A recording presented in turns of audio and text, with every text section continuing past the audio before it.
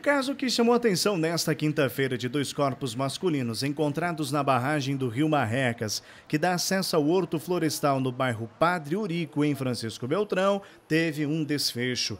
De início, a polícia trabalhava apenas com a localização de um dos corpos. Durante o trabalho de levantamento da área, um Fiesta abandonado foi encontrado na trilha que liga ao Parque Ambiental Irmão Cirilo.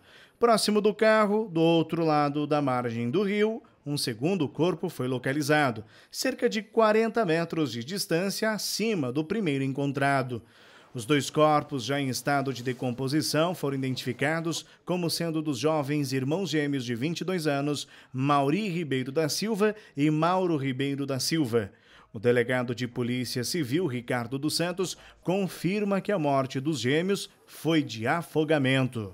A perícia não se constatou nenhum sintoma de, de violência nenhuma marca de violência em nenhum dos dois corpos e a causa da morte foi efetivamente confirmada como afogamento.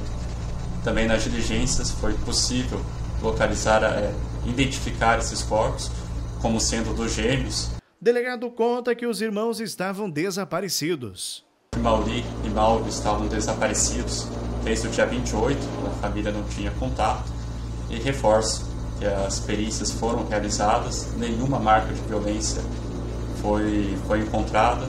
Dentro do veículo havia inclusive é, as roupas, havia roupas do, do, do, das vítimas, é, estavam inclusive dobradas, devidamente guardadas dentro do, do carro, cartões bancários, carteira, então todo esse contexto é, nos leva à probabilidade maior realmente de que eles tenham optado por nadar no rio e infelizmente é, acabaram se afogando é, ali na, na região.